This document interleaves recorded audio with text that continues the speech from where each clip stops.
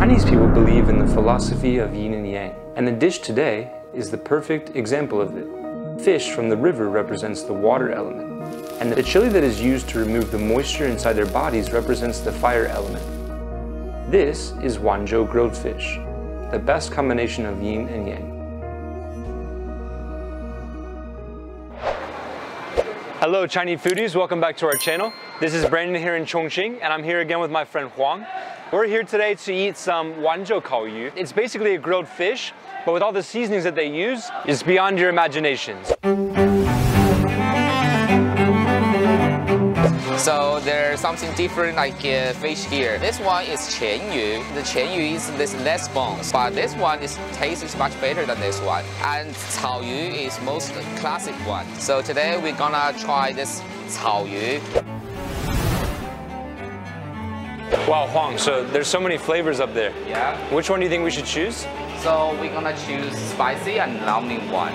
Ah, okay. Yeah, okay. that's most uh, you know like uh, popular one. The most popular one? Yeah. Is it more spicy than the laziji? No, it's less Okay. like spicy than dazi. Okay, then it should be no problem. Yeah. See?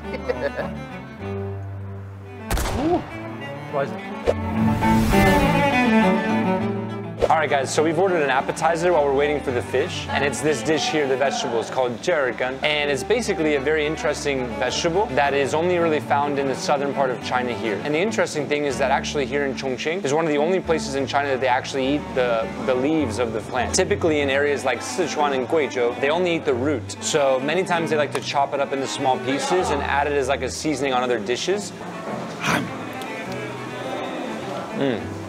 Their chili sauce they use is very good. Very xiang, very fragrant. No more chit chat. Let's check out the chef's magnificent cooking techniques.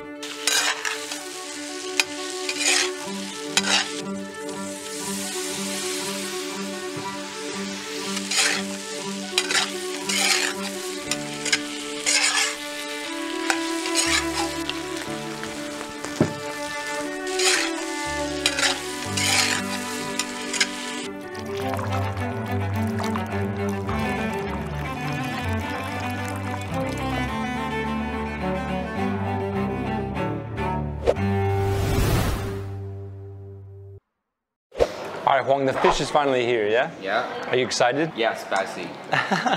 It looks very spicy, yeah? Yeah. So what do you usually go for first? You just eat the fish directly or you start with the vegetables on top? So you usually we just took the, I guess, like you know, chili out to another side, Ah, okay. and when you see the fish, you can choose where you can start. A lot of seasonings on top. Yeah, Is it used just for a decoration or do you eat this or what? just for decoration. Ah, okay. but if you like coriander, you can ask you know the waitress Add to some more, add right? more are. Say, there's this potato and the lotus.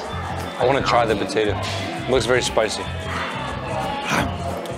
and uh, this called konjac tofu. Yeah, konjac jelly, this one. Yeah. yeah. Oh, celery. Celery. Yeah, yes. celery, yeah. I'm sure the flavor is very strong with all the chilies and yes. stuff. Let's so try the fish. the fish. Oh, there we go.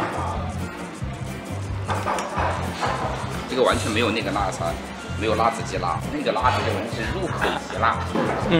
I mean, it's spicy. Obviously, you have so many of the chili peppers and things like this, but you can tell that there's so many other spices inside. You get like a very fragrant flavor to it. Like um, even the sesame seeds and things inside has a very strong flavor. So the flavors inside it almost kind of taste like a combination between like hot pot and barbecue almost. It's like a perfect combination of the two sort of flavors together. You know, it's very very good. Also the way they cook it, you know, like it's kind of cooking in the oil, but they also have like the the sort of uh, barbecued vegetables on top and things like this. Yes. Very interesting. Wow, spicy and hot. Yeah, yeah. I see what you mean about like there are some bones inside, but the fish is very, very tender. It's very, very soft. Yeah, like this is one of the softest fish I've ever had. Like it might be the way that they cook it, and also the fact that it's in oil right now, but the fish itself is also very, very soft. Yeah. What, you can't handle the bones? Come on. Chongqing people have been eating this for years and they're completely okay. So be adventurous and take on the challenge. It's worth it, trust me. While you may not have all the seasonings necessary to make Wanzhou grilled fish on your own, with Chinese Sichuan broad beans spicy sauce 36 degrees, you can make a variety of dishes from home. And Yuxiang shredded pork is one of the best ways to use this sauce. Not very spicy and suitable for almost everyone. You can also go to our website, www.chineatofficial.com, to check out our other sauces with different packaging options and spicy degrees. I'm sure you can find one you love. Oh man, it seems like there's not much fish left. Should we maybe order something else? Yes, if you want, like we can add more. Fish or add more vegetables? Uh, only for vegetables. Okay. Yeah. Yeah, sounds good. The flavor in this juice is very nice. Yeah. So if you add vegetables, it'll just soak up this juice, I guess. Yeah. Very good. Yeah, let's add some vegetables. Okay.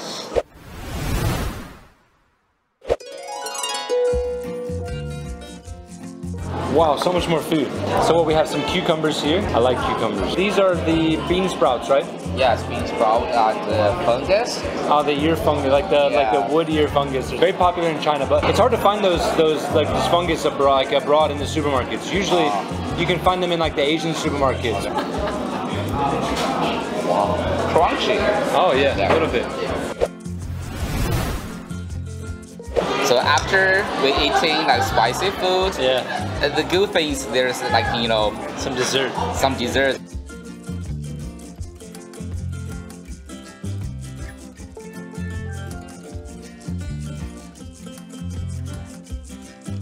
I think this one is like a, a small bread. Ah, yeah, like a little bun. Yeah,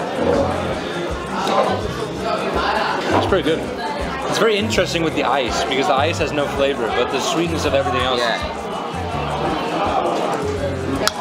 It's whole ice cream.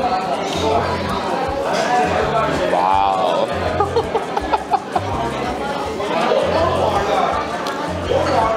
I like the cream actually. What's the flavor like? Chocolate. If you have sensitive teeth, be careful eating this dish. It's very, very cold, so it like almost hurts your teeth a little bit. Yeah, I just want to see that. Yeah. Uh, my my teeth is very sensitive. yeah. What do you think we should eat the next time? Let's go try. Ooh. Yes. All right, guys. So if you want to see where we're going on the next video, please like, comment, and subscribe, and make sure to turn on the notification bell so that you can receive the notification next time we post a video. And uh, we'll see you in the next episode. So until then, bye bye. Bye.